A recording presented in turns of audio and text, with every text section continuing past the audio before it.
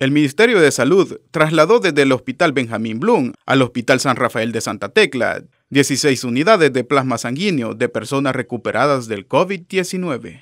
Bueno, esta es una terapéutica muy importante dentro del protocolo nacional de atención a pacientes COVID. se le dan los anticuerpos prácticamente ya formados a los pacientes y esto indudablemente causa un efecto positivo en su recuperación. Según autoridades de salud, hasta la fecha tres pacientes positivos al virus han sido tratados con esta terapia y con resultados prometedores, aseguraron.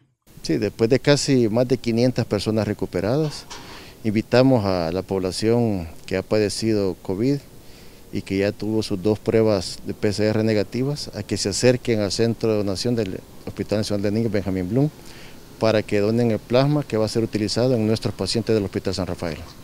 Ahorita se le ha aplicado a tres pacientes con resultados positivos. Hasta la fecha, El Salvador supera los 1.800 casos confirmados de COVID-19 y suma 33 fallecidos. Según el presidente de la República, Nayib Bukele, de seguir en aumento los casos, se condena al sistema de salud a un colapso total. Este fue un informe para la.